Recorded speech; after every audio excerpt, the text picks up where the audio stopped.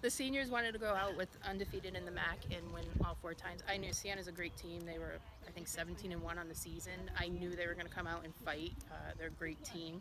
Uh, it was close, closer than I wanted to, but um, I'm glad we pulled out. I knew, you know, Sydney out there as a senior. I knew she, you know, could do it and pull it out.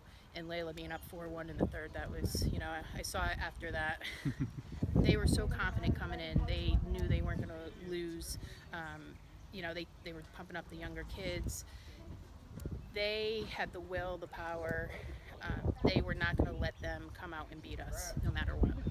And how much to say about the future of the program that some of the underclassmen stepped up, Jen, Poifon, uh, I said Rodriguez was up in the third, just how they stepped up on this stage too. Yeah, they, I mean, Jen won both her doubles and singles. Poifon came out and won quickly at six, and Layla for being a freshman and, you know, her point on the line and being up 4-1 in the third um, shows her fight and willingness to win. Uh, you know, coming in, we have next year we have five freshmen coming in, so we'll be young, and we just have to keep it going.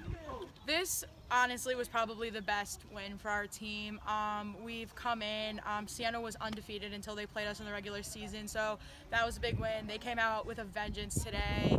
Uh, we split the doubles, and then it came down to two doubles, pulled out a huge win for us. You know, Layla was up huge, so for me, it wasn't about finishing before her, after her. It was just about getting the job done on my court and hoping that she was doing the same.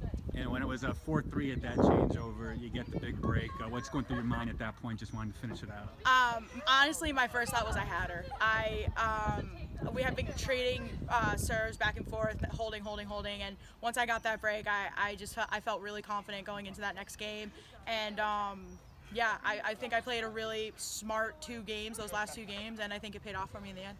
Obviously, going through it is tough, but but now that it's over, is the fact that you guys were pushed to the limit and you had to come through. Does it make this last one even more meaningful? Oh, absolutely. We've been challenged three of our four years. When we were sophomores, we kind of cruised, but other than that, um, I was just saying, my freshman year we lost five of six first sets in singles.